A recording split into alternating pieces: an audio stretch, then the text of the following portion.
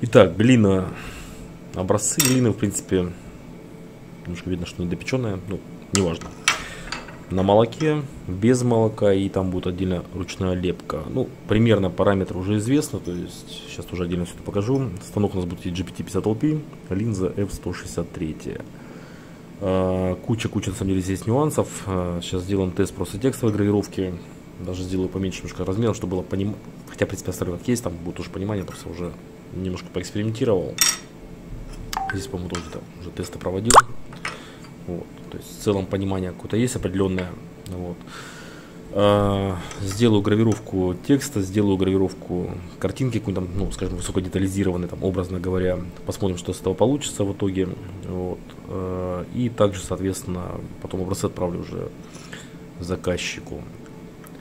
Вот. Э, по станку 50 ватт здесь, ну, по крайней мере, по тому, что вот этой теме отработал, э, если, скажем так, большое будет количество объем, ну, условно, то полтинника будет за глаза более чем достаточно. Если объемы небольшие, маленькие, там, скажем, там, и условно, там, в день будете делать, там, ну, максимум, там, 2-3 горшка, то тридцатки тоже будет достаточно. Серия LP. Не Q-Switch, не серия Q, а именно серия LP.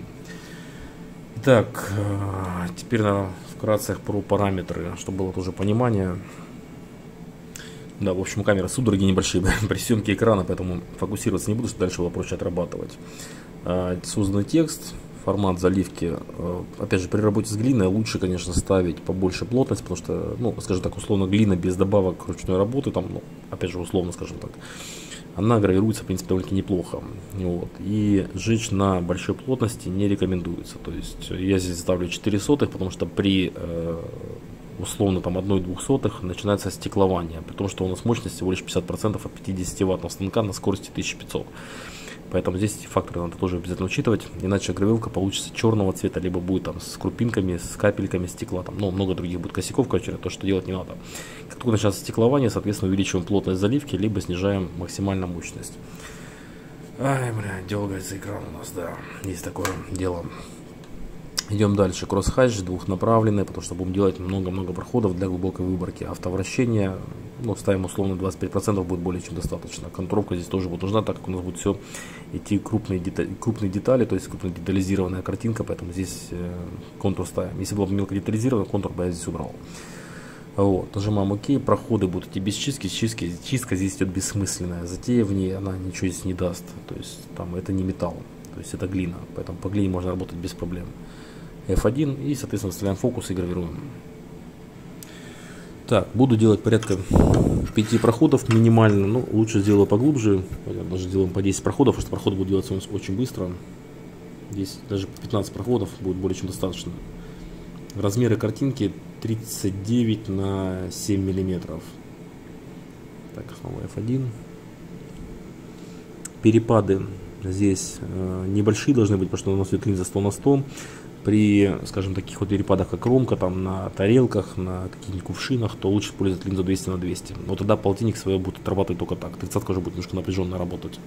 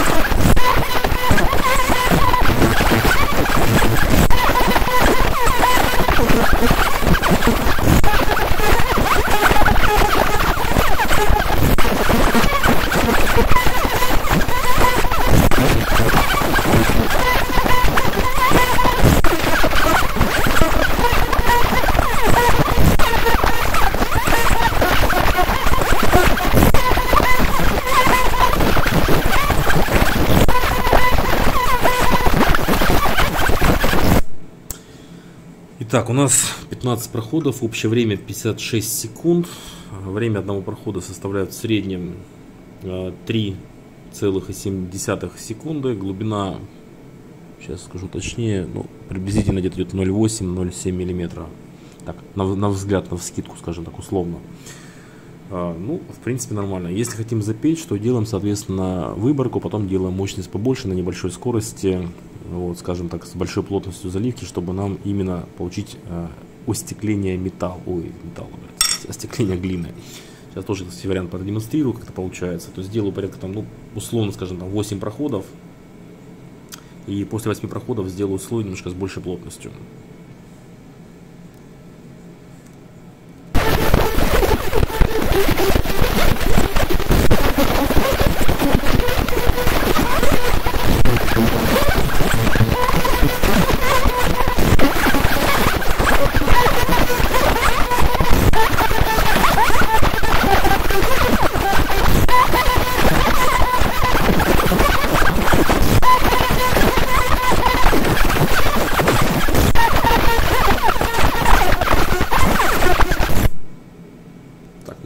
Ну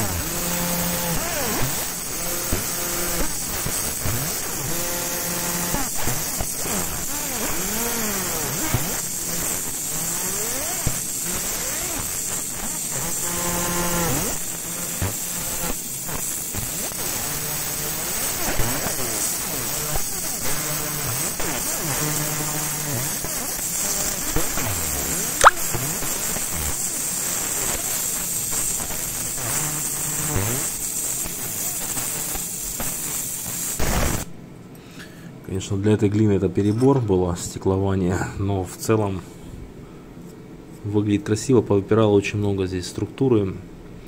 Вот. Ну, блин, интересно все-таки, классно же. А так, в целом, если сделать поглубже и немножко поменьше мощности для стеклования, то будет тоже красиво выглядеть. Но, кстати, лучше, чем на кирпиче. На кирпиче так, такого варианта не добиться, потому что кирпич почему-то сложнее гравируется в этом плане. Скорее всего, застава песка, там очень большое количество идет песка и другого по примесям. Так, ну, собственно, что теперь? Переходим к тестам ко второй части, то, что ответ на молоке. Сначала гравируем просто текст, тоже там порядка 15 проходов, сделаем потом большое количество проходов э, с выборкой и чернением. Вот. F1.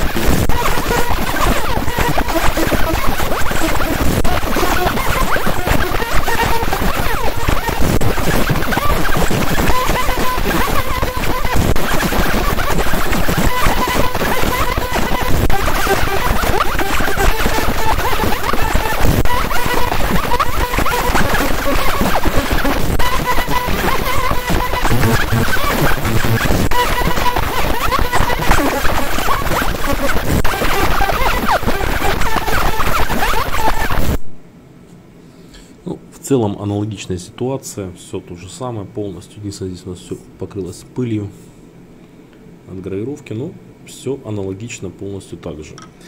Теперь 8 э, проходов, и после 8 проходов делаем чернение. Так, 8.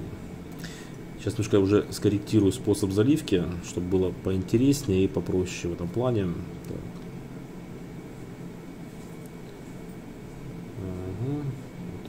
Начале.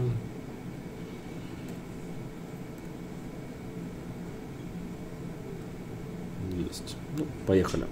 F1.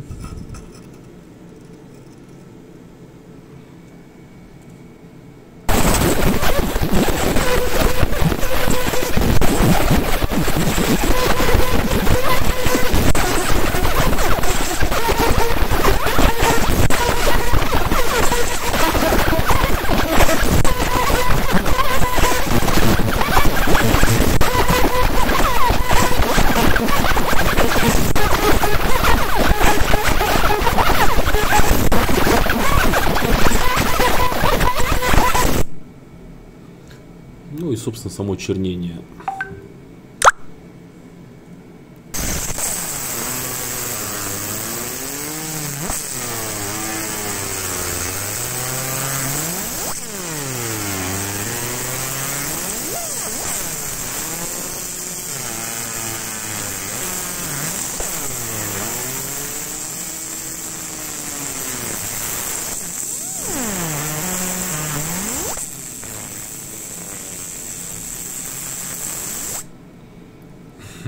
Красиво, красиво, конечно, получается все. Единственное, по температуре оно все очень горячее. Вот. Но зато уже здесь не выпирает у нас часть нашего стеклования, то есть или стекление, или стекловато это не вылазит, в общем, из структуры самой гравировки. Ну, выглядит довольно интересно. Единственное, опять же, на молоке запеклось вот край молочка. Здесь видно, что оно позапекалось. Поэтому возможно, что здесь бы так сильно бы не грел бы материал, чтобы он у нас не оплавлялся. Так, ну и у нас еще есть один вариант, это для ручной лепки. Тоже 15 проходов. Единственное из нюансов у нас это все побито пришло почему-то, ну прям в дребезге. Поэтому из целых элементов осталось очень мало.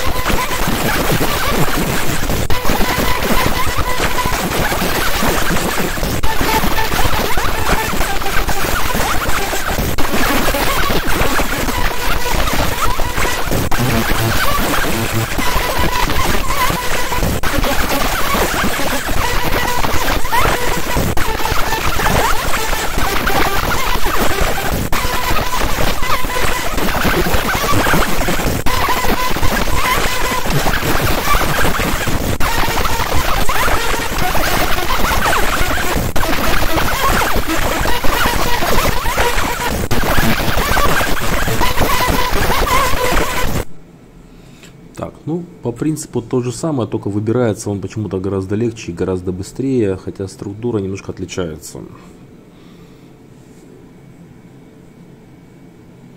Вроде бы прикольно. Сейчас с тыльной стороны закатаем, получается, гравировку. Сразу сделаем уже с чернением. Опять же, пойдет ли стеклование здесь под большим вопросом. Так, немножко вот так вот сделаем, что фокус надо хотя бы соблюдать.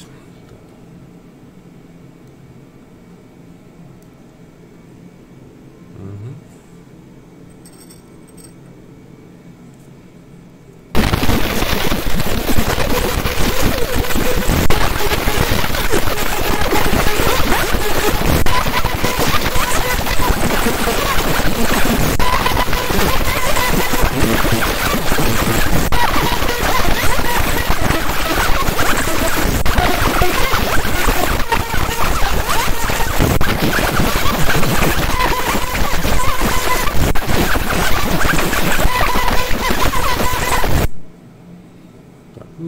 проход чернения, как и в предыдущем разе. Единственное, я сейчас, наверное, чуть-чуть изменю опять параметры, самую малость. Скорректируем под наши задачи.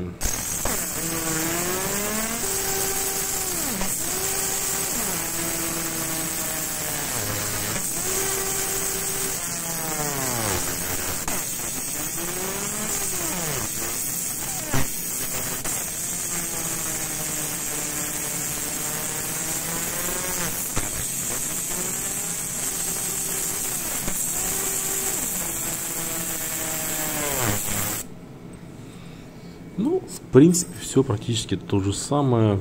Вот здесь, кстати, стекло почему-то затекло именно вот внутри, как будто бы, скажем так, условно оно туда втекло, прям красиво-красиво получилось. В отличие от таких вот вариантов, то есть здесь оно прям выпирает очень сильно, изнутри его прям прет, колбасится, и то же самое, что и здесь нас также оно очень сильно выпирает. Вот. В ручной лепке, конечно, само стеклование происходит гораздо интереснее, Ну, по структуре, думаю, можно понять, что все-таки здесь поинтереснее сам вариант чернения. Так, ну и, собственно, сейчас закатаем макет. Посмотрим, как это все будет выглядеть с макетом уже. Итак, для понимания заливки назначаем маркером номер 0. Плотность заливки ставим для выборки достаточно будет 4 сотых мм, маркером также 0. Способ заливки двойная непрерывистость с галочкой кросс-хач, контуровка пускай будет в конце, условно. Автовращение обязательно здесь нужно будет, не, без него не поработаем. Так, ну, готово, это раз. Так, соответственно, нужна будет чистка, ну, либо чернение, скажем так, условно. Так, следующий слой. А, здесь, конечно, слишком много у нас залитых цельных векторов. Плотность ставим побольше, 0,8, для того, чтобы у нас глина успевала, успевала скажем так, спекаться, образоваться шлак. То есть тем самым получаем стеклование. Контуровка я бы на самом деле здесь не делал бы, то есть отключил бы, скорее всего, кроссхач здесь не нужен. Делаем это дело все в один штрих, маркером номер один. Даже можно здесь, в принципе, нам не важно качество, поэтому делаем двойной штрих, быстрее будет процесс. Автовращение здесь нам не нужно, угол 0. Вот.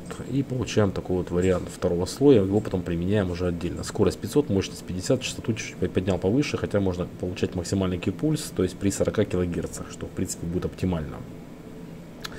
Есть. Ну и переходим, соответственно, к гравировке. Э, количество 15 выборок делать смысла нет, слишком много будет, этот процесс будет идти очень долго, поэтому порядка 5 выборок буду делать каждый раз.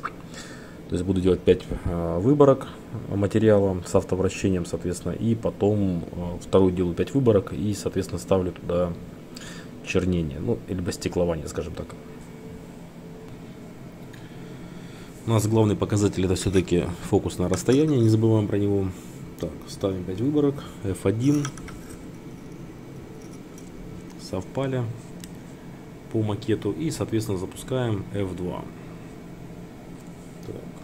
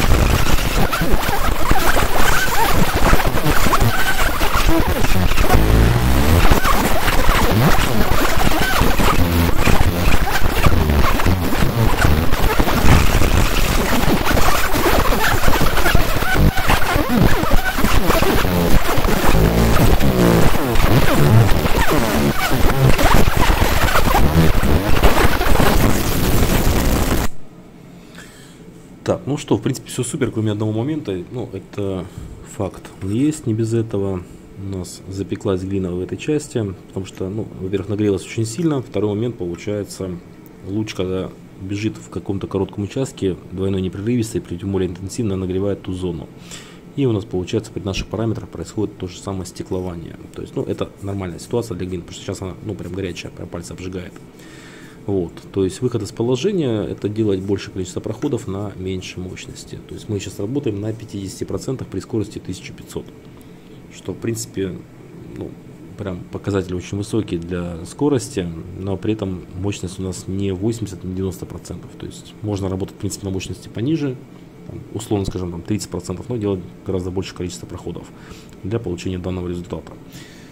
Время прохода 27,8 секунды одного с кроссхатчем получается. И время общее 5 проходов 2 целых и то есть 2 минуты и, грубо говоря, там 19 секунд. Делаем аналогичный вариант у нас теперь а, с выборкой с стеклованием, то есть 5 проходов плюс стеклование в конце. Вот. Ну, по сути, время будет чуть побольше займет, не без этого.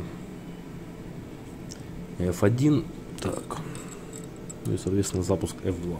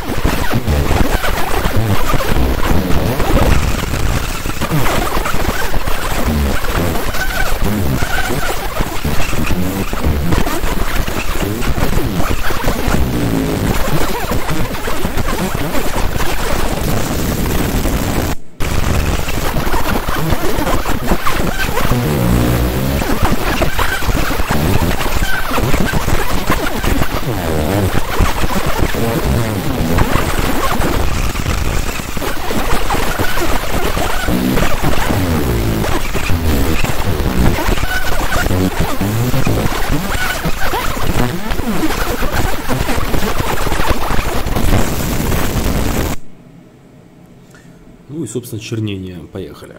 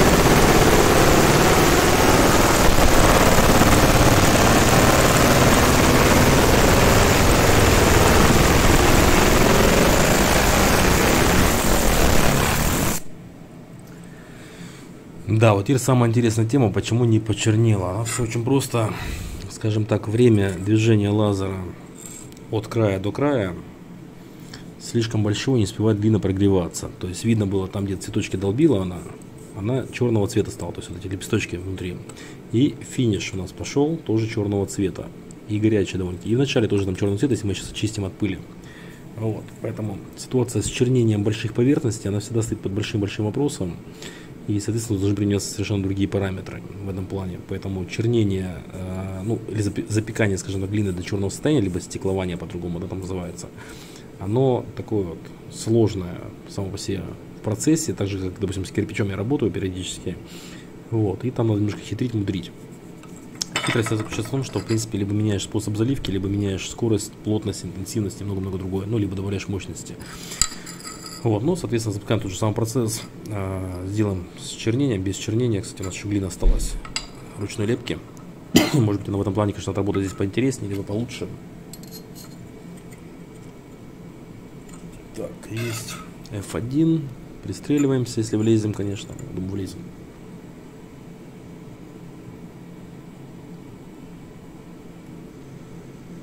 Да, влазим. Без проблем.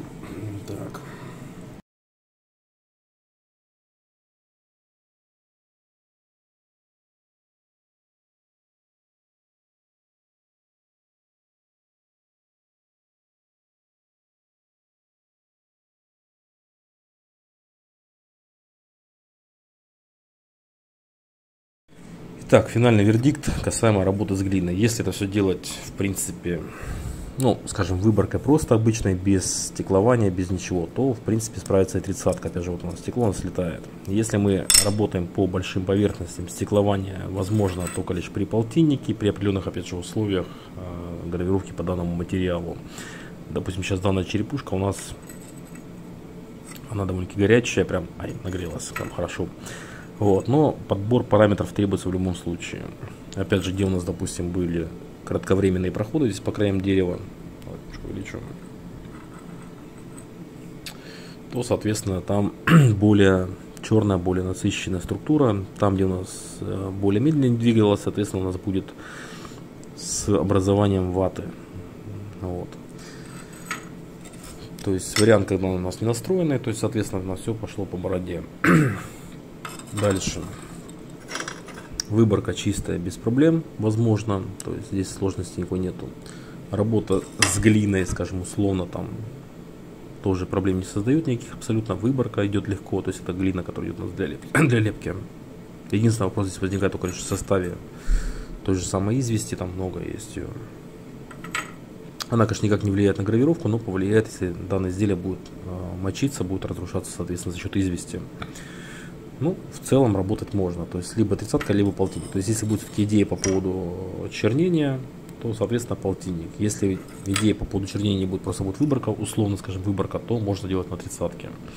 Но опять же, с молоком э, чернение здесь что-то плохо заходит, мне не нравится, контрастности нету. Вот. Если брать просто обычную, то, в принципе, возможно так и так, то есть любые варианты. Но вопрос количества проходов всегда важен.